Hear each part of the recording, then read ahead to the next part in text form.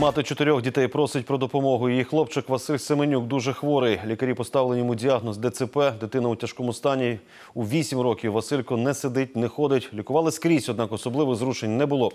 У серпні місяці цього року мати з дитиною були в Києві, лікувалися за спеціальною методикою. Почалося покращення. Наступний курс у жовтні місяці, потім у січні, але грошей, аби поставити хлопчика на ноги, вже немає. Тож мама звертається до усіх небайдужих з проханням допомогти вилікувати Василя. Реквізити на нашому екрані.